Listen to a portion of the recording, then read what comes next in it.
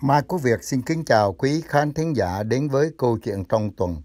Thưa quý khán thính giả, câu chuyện trong tuần hôm nay kính mời quý khán thính giả theo dõi bài viết Kim Jong-un giả chết tránh dịch. Cô gái đào thoát Triều Tiên tiết lộ nội tình. Tổng thống Trump nói biết tình trạng của Kim Jong-un. Kim Jong-un gửi thư cảm ơn công nhân giữa đồn đoán đã qua đời. Mới đây, Park Jeon-mi, cô gái trẻ nổi tiếng, may mắn đào thoát khỏi Triều Tiên, tiết lộ rằng Kim Jong-un đang giả chết. Ông ta hiện đang ở Wonsan để tránh dịch, theo NTD-TV. Mấy ngày nay, các tin đồn liên quan đến tình trạng sức khỏe của nhà lãnh đạo Triều Tiên Kim Jong-un liên tục xuất hiện trên các phương tiện truyền thông, thu hút sự quan tâm của người dân thế giới. Đến nay, truyền thông chính thức của Triều Tiên vẫn chưa công bố hình ảnh mới nhất của nhà lãnh đạo nước họ. Điều này đã dấy lên nhiều đồn đoán từ giới quan sát bên ngoài. Park Jeon-mi là một cô gái trẻ may mắn đào thoát khỏi Triều Tiên. Cô là tác giả cuốn sách có tên Vì để sinh tồn, hành trình đến tự do của một cô gái Bắc Triều In Order to Live ở North Korean Girl Junior to Freedom.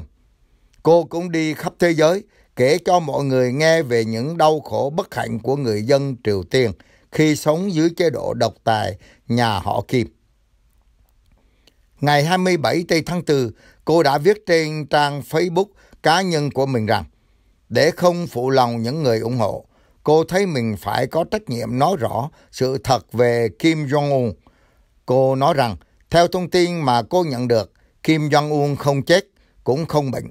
Chỉ vì ông ta sợ mình bị lây nhiễm viêm phổi Vũ Hán nên mới ẩn thân. Ông ta sẽ trở lại nhanh thôi. Chứng minh tất cả chúng ta đã sai. Cô Park Yeon-mi nói rằng cô hy vọng rằng tất cả thông tin cô có được đều là sai. Nhưng độ tin cậy của những nguồn tin này khá cao. Cô cũng đề cập rằng mặc dù Triều Tiên đã dối gạt thế giới, tuyên bố rằng không có ca lây nhiễm nào được xác nhận ở nước này. Kỳ thực, dịch bệnh từ sớm đã vượt khỏi tầm kiểm soát. Các kênh truyền thông chính thức của Triều Tiên liên tục nhiều ngày đưa tin về Kim Jong-un, nhưng trong báo cáo trước sau không công bố ảnh chụp mới nhất của Kim. Theo phân tích từ những tấm ảnh vệ tinh chụp được của cơ quan nghiên cứu Triều Tiên, ngày 21 đến ngày 23 tháng 4, đoàn tàu chuyên dụng của Kim Jong-un đã đậu tại ga lãnh đạo ở thành phố Wonsan, khu nghỉ mát nổi tiếng của nhà họ Kim. Nhưng không rõ ông Kim Jong-un có ở Wonsan hay không. Theo tờ Tokyo Shimbun, ngày 23 tháng 4, một nhân sĩ thạo tin về tình hình ở Triều Tiên cho biết tùy tùng của ông Kim Jong-un ở Bình Nhưỡng đã bị nhiễm COVID-19. Kim Jong-un lo lắng cho tình trạng sức khỏe của mình nên đã chuyển từ Bình Nhưỡng đến thành phố Wonsan, thủ phủ tỉnh Kwangwon. Một quan chức cấp cao của Nhật Bản nói rằng đây là Kim Jong-un nguyện ý tự mình cách ly. Sau khi tham dự hội nghị trung ương ở Bình Nhưỡng vào ngày 11 tây tháng 3, Kim ở trong một biệt thự đặc biệt ở thành phố Wonsan.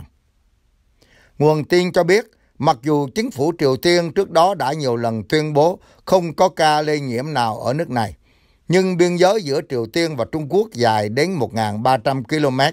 Nếu muốn ngăn chặn hoàn toàn virus xâm nhập gần như là điều không thể. Một bài báo của Ủy ban điều tra nhân quyền Bắc Triều Tiên hồi tháng 4 nói rằng dịch bệnh ở Triều Tiên nghiêm trọng ngoài sức tưởng tượng. Không chỉ vì hệ thống y tế của Triều Tiên yếu kém, mà còn do người dân Triều Tiên suy dinh dưỡng trong thời gian dài.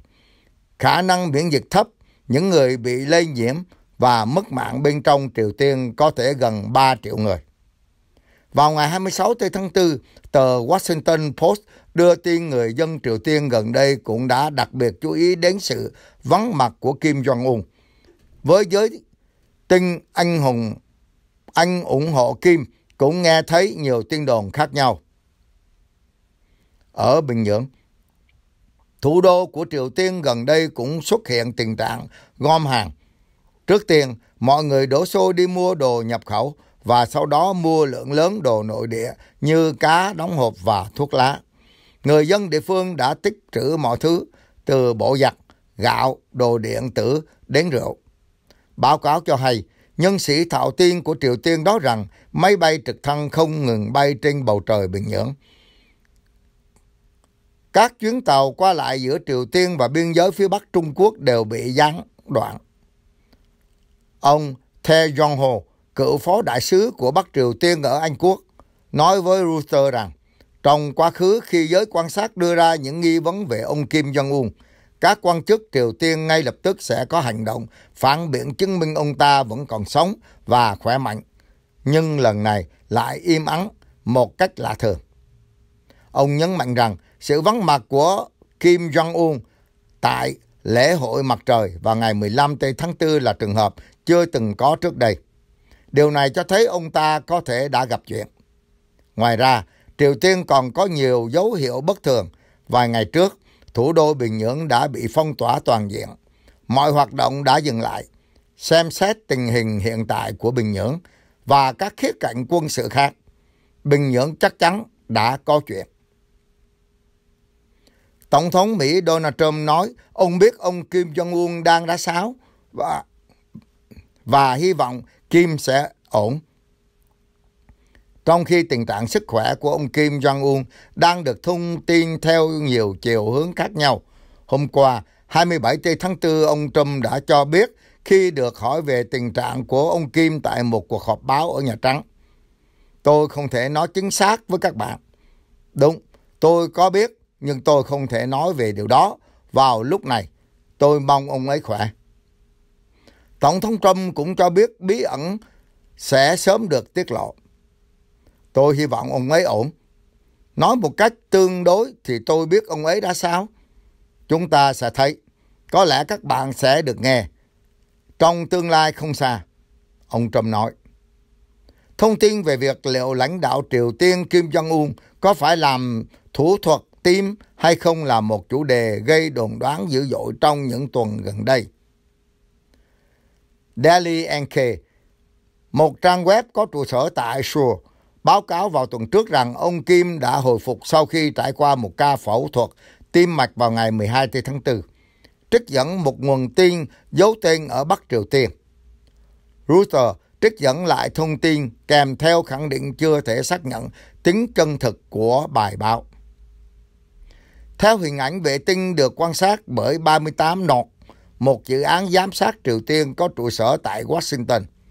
Con tàu đặc biệt nhiều khả năng phục vụ ông Kim đã được phát hiện vào tuần trước tại thị trấn nghỉ mát Wonsan của Triều Tiên. Theo Reuters, Triều Tiên đưa tin Kim Jong-un gửi thư cảm ơn các công nhân xây dựng, trong khi Hàn Quốc cho rằng sức khỏe của lãnh đạo Triều Tiên vẫn tốt. Truyền thông nhà nước Triều Tiên đăng tin hôm 27 tháng 4 rằng lãnh đạo Kim Jong-un đã gửi thư cảm ơn những công nhân xây dựng tại một dự án du lịch bên bờ biển. Đây dường như là một động thái của Triều Tiên nhằm bác bỏ những tin đồn về việc lãnh đạo nước này đã qua đời. Gần đây, xuất hiện nhiều tin tức về tình trạng sức khỏe của Kim. Sau khi ông trải qua cuộc phẫu thuật tìm cách đây một tháng, Phó Giám đốc kênh truyền hình vệ tinh Hồng Kông Sejong Songyo tuyên bố rằng một nguồn tin cậy nói với ông rằng Kim Jong-un đã chết. Dù vậy, tờ báo nhà nước Rondon Sumun mới đưa tin rằng ông Kim đã gửi thư cho các công nhân ở thành phố Gosan, nơi các hình ảnh vệ tinh phát hiện ra con tàu chuyên chở lãnh đạo Triều Tiên đang ở đó. Hiện nay, tin này chưa được kiểm chứng và không rõ lá thư có thật sự được gửi đi bởi Kim Jong-un hay không. Kim Jong-un chưa chết. Cùng ngày, cố vấn chính sách đối ngoại của Hàn Quốc Chung In-moon nói rằng ông Kim vẫn sống và khỏe mạnh và đang ở Wonsan từ ngày 13 tây tháng 4. Ông Moon cũng cho biết chính phủ Hàn Quốc tin rằng ông Kim chưa chết. Ông Moon nói thêm, Kim Jong-un đã ở lại thành phố Wonsan kể từ ngày 13 tháng 4 và cho đến nay không có chuyển động đáng ngờ nào được phát hiện. Một số nhân vật đào thoát khỏi Triều Tiên cũng tin rằng khó có việc các thân tín của ông Kim tiết lộ tình hình sức khỏe của lãnh đạo Triều Tiên ra bên ngoài. Yo Sung Ho, một người đào thoát khỏi Triều Tiên, viết trên Facebook rằng Kim Jong-un có thể gặp vấn đề về sức khỏe nhưng không thể nguy kịch. Bởi vì vấn đề sức khỏe của gia đình Kim là bí mật trong những bí mật. Thác Jong-ho, một nhà cựu ngoại giao Triều Tiên đã đào thoát sang Hàn Quốc.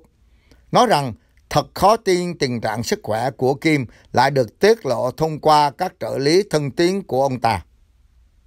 Ông thề nói trong khi ông còn làm việc ở Triều Tiên, không ai biết được cái chết của cố lãnh đạo Kim Jong-il cho đến khi truyền hình nhà nước công bố chân thực.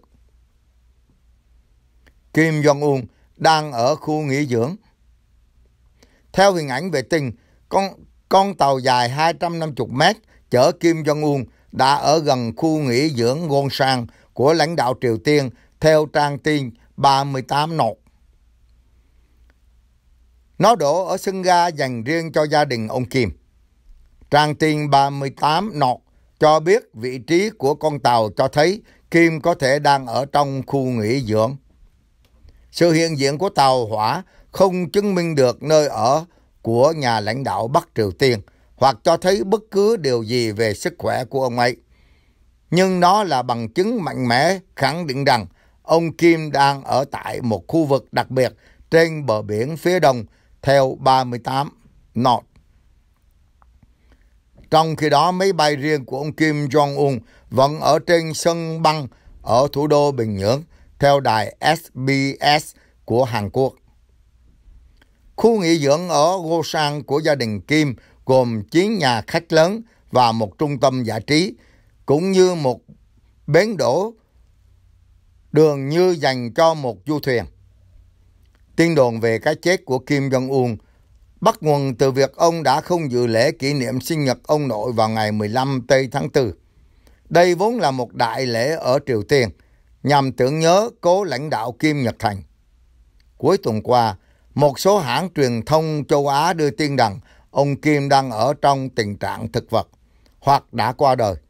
Trong khi đó, một tạp chí Nhật Bản đã đưa tin rằng ông Kim bị chết não và đang ở tình trạng thực vật. Mai Quốc Việt xin kính chào tạm biệt quý khán giả. Hẹn lại quý vị kỳ tới. Chúc quý vị, gia đình và người thân khang an và hạnh phúc.